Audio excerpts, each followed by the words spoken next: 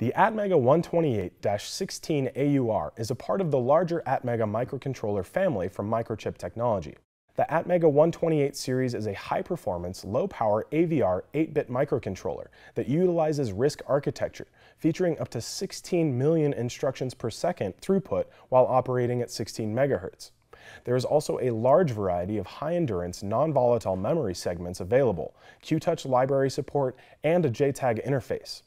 There's also a wide range of peripheral features, including two 8-bit PWM channels, an 8-channel 10-bit ADC, a master-slave SPI, two 8-bit and two 16-bit timer counters, and many more. This chip operates from 4.5 to 5.5 volts and has several power-centric MCU features, including six different sleep modes and extended standby. There are 128 kilobytes of in-system flash program memory, 4 kilobytes of EEPROM, and 4 kilobytes of internal SRAM, which makes this MCU capable of nearly any 8-bit MCU application.